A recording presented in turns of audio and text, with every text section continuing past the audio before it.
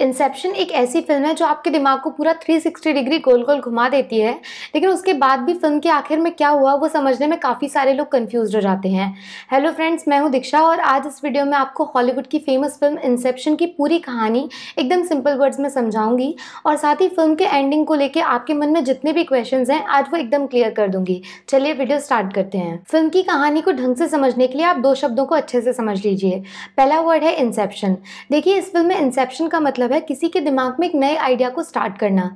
जैसे मैं आपसे बोलूँ इंडिया 2019 में वर्ल्ड कप जीतेगी तो बस आपके दिमाग में देशभक्ति वाला आइडिया स्टार्ट हो जाएगा। ये होता है इंसेप्शन दूसरा वर्ड है टोटेम ये एक ऐसा ऑब्जेक्ट है जिसकी मदद से आप डिसाइड कर सकते हैं कि आप जिस दुनिया में हैं, वो एक सपना है या रियलिटी टोटेम की एक खास क्वालिटी है जिसके बारे में जिसको बनाने वाला ही जानता है। अगर आपको डाउट है कि आपकी दुनिया असली नहीं है तो टोटेम को निकालिए और उसकी स्पेशल क्वालिटी को चेक कर लीजिए और आपके सारे डाउट्स क्लियर हो जाएँगे। अब बात कर लेते हैं फ़िल्म की कहानी के बारे में। फ़िल्म का लीड कैरेक्टर है कॉब नाम का। कॉब एक जीनियस है और उनको महारत हासिल है किसी भी बंदे को सपनों की दुनिया में ले जाकर उसके दिमाग से कुछ ऐसे सीक्रेट्स निकालने में जिनको शायद वो किसी और से शेयर नहीं करता। लेकिन कॉब की आदत उनको भारी पड़ जाती है जब वो इसका इस्तेमाल चोरी के लिए करने लगते हैं। वो पावरफुल लोगों से कॉन्ट्रैक्ट लेकर किसी दूसरे पावरफुल बंदे के सीक्रेट्स निकालते हैं और बदले में खूब सारे पैसे कमाते हैं। इसकी वजह से पुलिस उनके पीछे लग जाती है और उनको देश से भागना पड़ता है। कॉब को उनके बच्चों और पूरी फैमिली से दूर कर दिया जाता है। ऐसे में कॉप की लाइफ में एंट्री मारते हैं।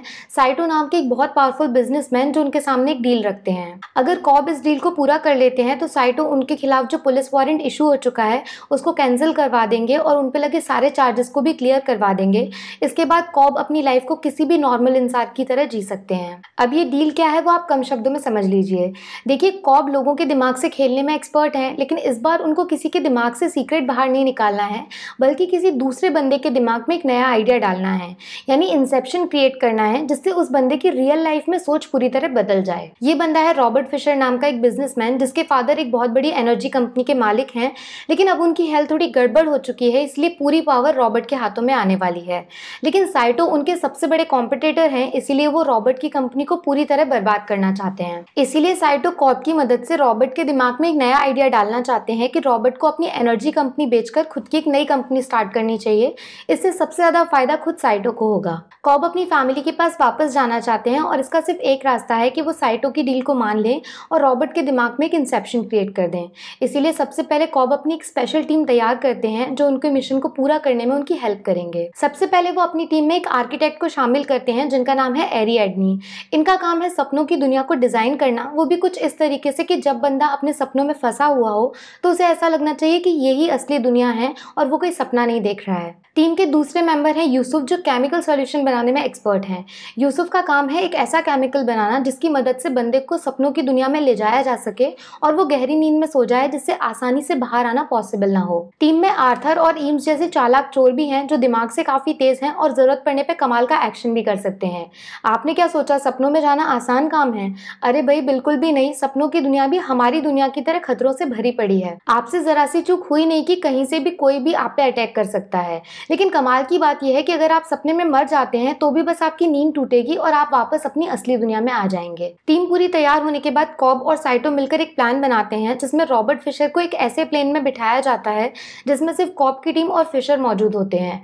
इसके बाद बहुत चालाकी से रॉबर्ट के पानी में केमिकल मिला दिया जाता है, जिससे वो बेहोश हो जाते हैं और कॉब का मिशन स्टार्ट हो जाता है। लेकिन इस बार कमाल की बात यह है कि कॉब सिर्फ़ एक सपने में नहीं, बल्कि सपने के अंदर एक दूसरे सपने में और उसके अंदर एक तीसरे सपने तक चले जाते हैं।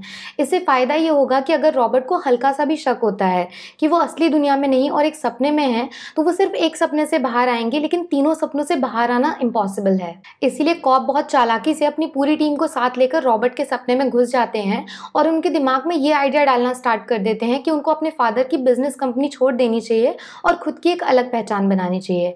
इसमें सबसे ज़्यादा हेल्प करते हैं रॉबर्ट के इमोशंस, जिनका रिलेशनशिप उनके फादर के साथ थोड़ा अजीब सा था। लेकिन सपने में सबसे बड़ी गड़बड़ तब हो जाती है जब रॉबर्ट के सिक्योरिटी गार्ड्स कॉप की टीम पर हमला कर देते हैं और उसमें साइटो को गोली लग जाती है।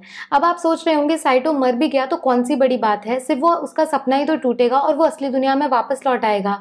लेकिन नहीं, यहाँ पर आता है फ़िल्म का सबसे बड़ा ट्विस्ट यूसुफ ने जो नया केमिकल सोल्यूशन तैयार किया था, उसकी खास बात ये थी कि ये सपने को काफ़ी लंबा कर देता है।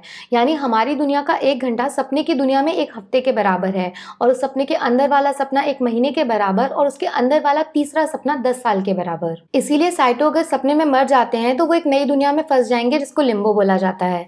लिम्बो एक ऐसी दुनिया है, जहाँ पर सिर्फ़ खाली स्पेस है और कुछ भी नहीं है। अगर आपका दिमाग एक लिम्बो में फंस गया तो हो सकता है कि आप वापस असली दुनिया में कभी ना आ पाए और लिम्बो ही आपकी असली दुनिया बन जाए। साइटो को गोली लग जाती है और वो सपने में मर जाते हैं और लिम्बो में चले जाते हैं। अब अगर साइटो ही वापस नहीं लौटेंगे तो कॉप के साथ उनकी डील का क्या होगा? वो तो फेल हो जाएगी ना, और कॉप कभी अपनी फैमिली के पास वापस नहीं लौट पाएँगे।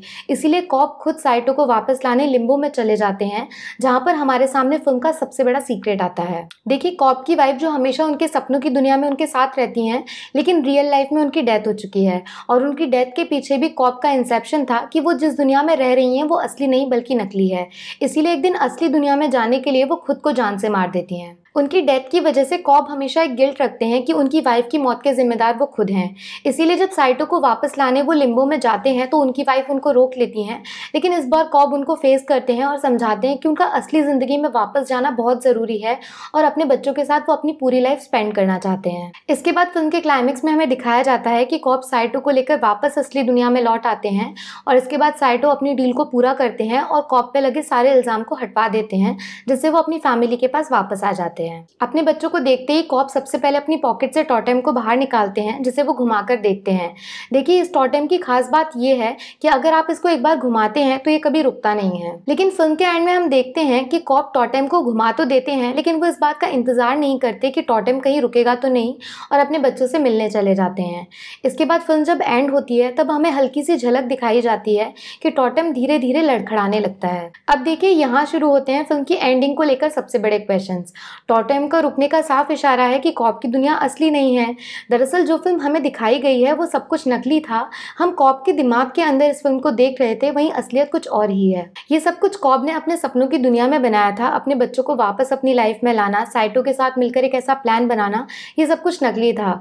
फ़िल्म के स्टार्टिंग से ही हम सभी लोग कॉप के सपनों की दुनिया में थे। उनकी असली दुनिया के बारे में फ़िल्म में कभी बताया ही नहीं गया और इस तरह से फ़िल्म को एंड कर देते हैं। तो कम शब्दों में बोलूँ, इंसेप्शन एक फ़िल्म नहीं है, ये खुद एक इंसेप्शन है, जिसके बारे में फ़िल्म के डायरेक्टर क्रिस्टोफर नॉलन ने हमें बताया था। फ़िल्म ऑडियंस को इतना पसंद आई, ये बात साबित करती है कि हम सब डायरेक्टर साहब के इंसेप्शन से काफ़ी इंप्रेस्ड हैं। अगर आप इस वीडियो से इंप्रेस हुए तो वीडियो को लाइक ज़रूर कर देना। मिलूँगी आपसे अगले वीडियो में। Take care bye bye